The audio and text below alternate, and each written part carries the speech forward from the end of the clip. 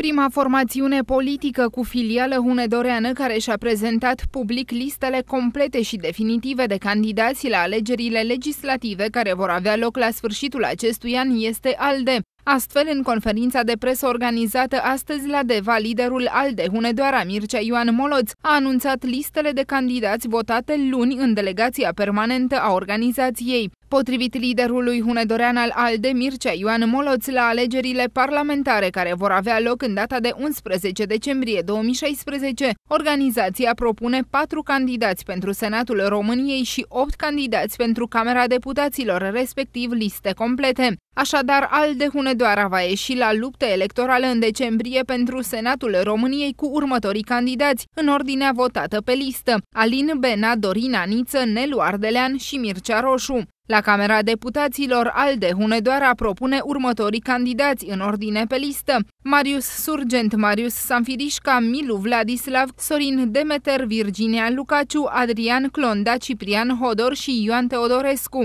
Conform celor declarate de lideri ALDE Hunedoara, filiala hunedoreană își propune să obțină la alegerile legislative un post de senator și cel puțin două posturi de deputat.